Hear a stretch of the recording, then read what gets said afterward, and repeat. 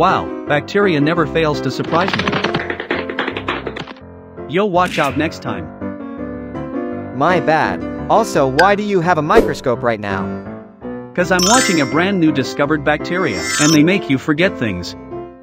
How sick is to be studying Demteria in an ice cream shop? Is cause I didn't pay rent and I don't know what happened to my money. Yeah, totally not related to this new bacteria you're talking about. I don't think so. By the way, it says here to use proper safety. Where's yours?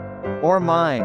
There's safety? At this point, I'm just wasting my time here. Alright, well can you give me my box back? Sure. Shoot, I don't remember why I'm here for. Damn, wait me neither why do I have a microscope? That's for nerds. Real, I'm just gonna dip right now, see you any day but today.